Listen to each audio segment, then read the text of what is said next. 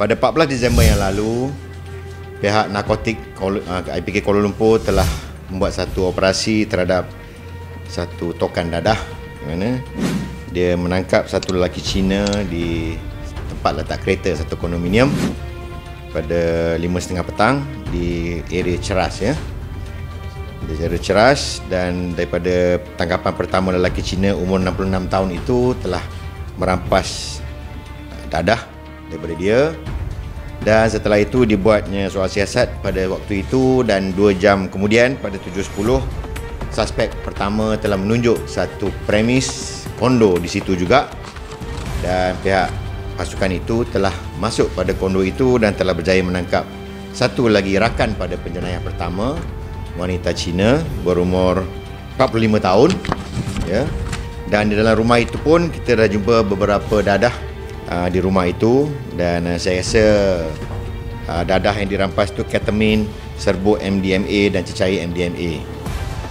Dibuat soal siasat lagi terhadap kedua-duanya dan kedua-duanya telah menunjuk pada satu kereta di tempat letak kereta tadi dan di dalam kereta tersebut kereta Proton Wira telah menjumpai banyak lagi dadah seperti seribu biji pil Armin dan 1900 pil ecstasy ya.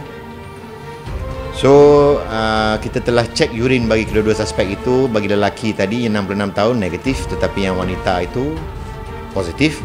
Dan yang wanita itu ada rekod lampau. Pernah kami tangkap dan telah dituduh.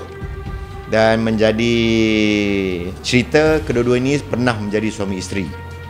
Kedua-dua suspek ini. Tetapi sekarang sudah bercerai dan mereka berdua telah diriman sehingga 20 Disember dan uh, uh, siasatan di bawah Seksyen 39B dan mereka berdua ni berkecimpung dalam pengedaran dadah di sekitar Kuala Lumpur 2 bulan yang lalu.